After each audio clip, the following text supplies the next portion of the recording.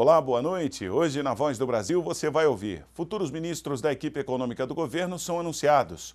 Joaquim Levi assume o Ministério da Fazenda. No planejamento, o titular será Nelson Barbosa e Alexandre Tombini continua presidente do Banco Central.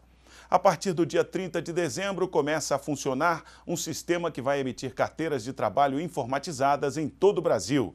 E ainda, conferência reúne em Brasília até domingo representantes de todo o país para discutir o direito de produzir e viver de forma associativa e sustentável.